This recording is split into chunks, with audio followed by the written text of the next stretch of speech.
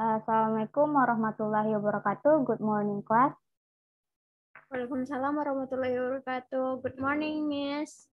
Uh, okay, how are you today? Fine, Miss. How about you, Miss? I'm good too. Thank you. Uh, okay. Uh, before we start our class today, let's we pray together. Uh, pray start. Okay, finish.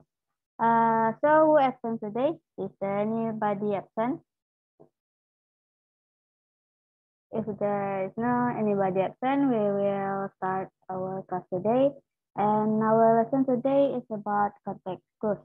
The purpose of this uh, lesson, I want you then to know how to uh, know the the meaning of the vocabulary without uh, see to the dictionary. So the strategy, this context clue will help you to find the meaning of the vocabulary without using dictionary. And um, before we start uh, the lesson, I have a video. So uh, I want you to pay attention and then we will discuss it in the lesson then.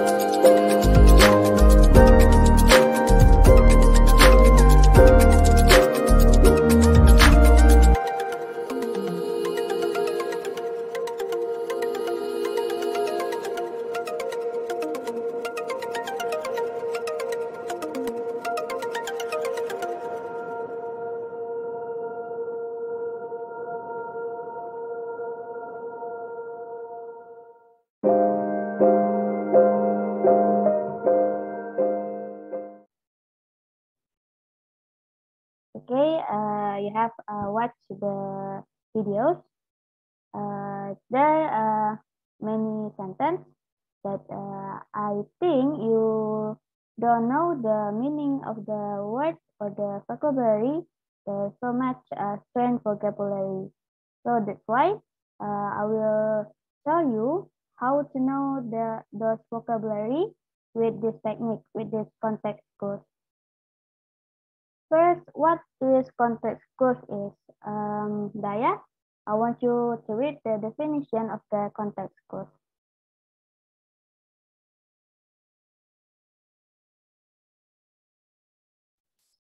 Okay, Miss. Context clues. Context clues are hints found within a sentence, paragraph, or passage that a reader can use to understand the meanings of new or unfamiliar, unfamiliar words.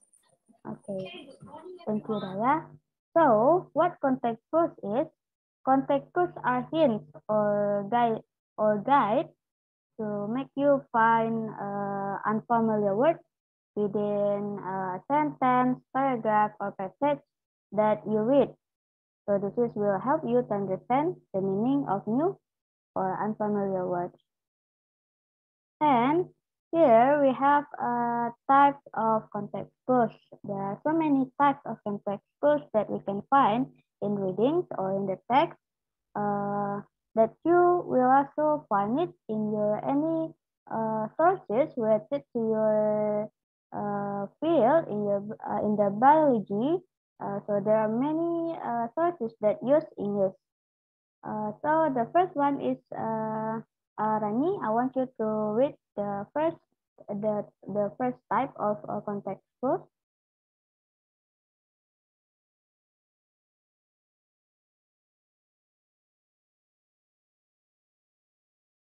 Uh, it seems uh, Rani have a, a bad signal, so I will read the first one. Uh, the the first uh, type is definition or description clue, and the new term might be formally defined or sufficient explanation might be given within the sentence or in the following sentence. Clues to definition include that is commas and dashes and also parentheses. So we can see the clues that we can see to find the meaning of the word is dashes, commas, dashes, and parentheses. For example, we can see here his emaciation, that is his skeleton, like a parent was pretending to see. So we can see this is uh, that is as the clue. So uh, skeleton like appearance is the is the definition of emaciation. And the second uh, example is fluoroscopy. Examination with a fluoroscope has become a common practice.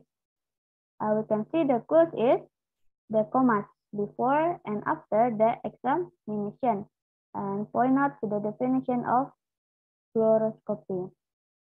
And the second type is example clues. Uh, sometimes when a reader finds a new word, an example might be found nearby that helps to explain its meaning. Words like including, such as, and for example, and also point out example. For example, we can see piscatorial creatures such as flounder, salmon, and trout live in the coldest part of the ocean. Uh, the piscatorial obviously refers to fish. So we can see this is salmon and we know that salmon is kind of fish. And then the second example is celestial bodies, including the sun, moon, and stars, have fascinated men through the centuries. Celestial objects are those in the sky or heaven. So we can see the sun, moon, and star. We can uh, say that this is the things in the sky or in the events. And the third uh, type of uh, context clues is the synonym. We all, we all already know that synonym is a word that uh, have some meaning. Uh, for example, we have here folded with spotlight. The focus uh, of our attention, the new Miss America began her young, her, her year long rhyme. She was the cynosure of our eyes for the rest of the evening. So the cynosure, the underlined word, means the focus of our attention. You can see here, this is the clues of the word. And then the second example is the mountain path was a turtle's road, winding and twisting like a snake around the trees of the mountainside. And the turtles, the underlined word, means winding and twisting. And how about the contrast or antonym or word that uh, have a different meaning? It can uh, close, the close is can be although, however, and but. For example, we have here when the light brightens, the, the pupils of the eyes contract. However, when it grows darker, they, they dilate. To dilate means the opposite of contract. And the second example is the children were as different as the night. He was lively, conversationalist, but he was received as taciturn. Taciturn means the opposite of lively, conversationalist. And then we come to the fifth uh, type of uh, context clues, The author sets a mood and the meaning of the unknown word must be harmonized with the mood. For example, we can see the lugubrious wails of the gypsies matches the dreary whistling of the wind in the albut deserted cemetery. And lugubrious, which means sorrowful, fits into the mood set by the word wells, dreary, and also deserted cemetery. And the sixth is experience first. Sometimes a reader knows from experience how people or things act in a given situation. This knowledge provides the clue of word meaning. You can see the example. During the first bewildering weeks, the top of a college freshman drifted back to high school where he was in, knew everyone and felt at home, a feeling of nostalgia swept over him. And the second is she walked away from her closet and quickly slipped a jersey over her head. She smoothed it into place over her hips, added a belt, glanced at the mirror, and left for work. And the seventh uh, type of, of uh, context clues is analysis or structure clue. This part, the part used to construct a word can be direct clues to meaning knowledge of prefix, roots, and suffixes can aid a reader in using this type of context clues. Learning one word but can add dozens of words to a reader's vocabulary. The power of words part lies in the ability to combine the roots and affixes with the context in which a word is used to decipher the author's meaning. For example, the story is incredible. The root great is means to believe and the prefix in means not. Therefore, if a story incredible, it, it means unbelievable. So you have to know the prefix, roots, and suffixes uh, for every word. So it will make it easier to you to understand the text that you read. And then inference clue. Sufficient clues might be available for the careful reader to make an educated guess at the meaning. For example, she told her friend, I'm through with blind date forever. What a dull evening. I was bored every minute. The conversation was absolutely perfect. And perfect means uninteresting. And then, uh, cause and effect clues. The authors explain the reason for other for the result of the word, like because, since, therefore, thus, so, etc. And my signal con context clues. For example, she wanted to impress all her dinner guests with the food she served, so she carefully studied the necessary culinary arts. Culinary means food preparation, and I know that you all already know what is culinary. And then the comparison, and in comparison clues, the authors use words and phrases that have the same or similar meaning as an unfamiliar word. Word used as like, as, similar to, in the same way, likewise, resembling to, and also this is the clue that you can see uh, to guide you or to guide you to the context clues. For example, my brother is enthralled by birds similar to the way that I am fascinated by insects. So you can see this is uh, the the context clues is uh, that can guide you is the similar, and the sense of the old was like the smell of the bag, and the word used is like. And then we come to the last. There are so many types of context clues. Uh, the last is list of series. The unfamiliar word is included in a series of related words that give an idea of the word's meaning. Then a word look for a little word. For example, non-American predator include grizzly bears, pumas, wolves, and foxes. And the second is the debris in the stadium stand included numerous paper cups, ticket stubs, sandwich wrappings, and cigarette butts. And um, and uh, that's the type of the context clues. There are so many uh, types. Uh, it, 11 types. Uh, is there any question related to the uh, explanation that I have explained before? You can uh, un unmute yourself or raise your hand. Okay, if there is no... No, miss. So far, so good, miss. Okay, uh, thank you, Rani. Uh, if there is no question, we come to the practice. Okay, I have explained before, I hope you can uh, answer this practice one. So I have five uh, questions.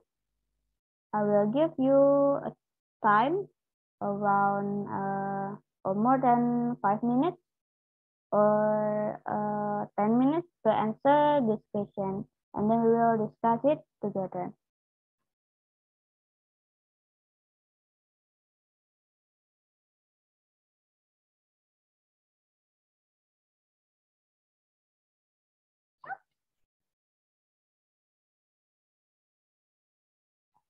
Okay, um,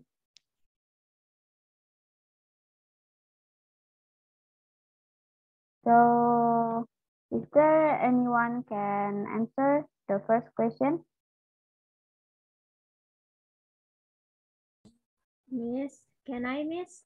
Yes, Rani, you can read the question first. Okay, miss. Thank you, miss. Uh, so the question, the archaeologists carefully removed the tomb from its ancient resting place and proceeded to read the facts related to Mary in ancient Greece. What does word tomb probably mean? Uh, I think the answer is miss. Book. Okay, great. Uh, the answer is book because you can see this is uh, verb read. And then uh, the second question, Saya, you can answer it. The second question. song and then the students identity and listening. Yes, miss. The first is teaching listening. The second, where uh, The Navajo language the is researcher a written uh, language of uh, extreme complexity with no alphabet or symbols. using And is spoken only the land students' of the listening Navajo Nation in the American Southwest. uh, During World War II, listening uh, Navajo Code was using, create- this, created media for the. U.S. Navy. Its carrying code banks is was spiritually methodology. Okay, this is the chapter undesirable to anyone except Navajo-speaking person. I think the answer is- What does the word spiritually probably mean? I think the answer is B, miss. Okay, great. The answer is B. Uh, and then the third question, you can answer the third question. Can I, miss? Yes, Rani. Uh, thank you, miss. Uh, so the third question is lacks of occupancy less than 2% of the Earth's surface, yet they help sustain life. For instance, let's give us a fish to eat, irrigate crops, and generate electrical power. What does the word sustain probably mean? I think the answer is A, support. Okay, great. The answer is support. Support. Because you can see the question, for instance, like this as fish to eat, and we already know that it is support our life. And then the fourth uh, question, who can answer?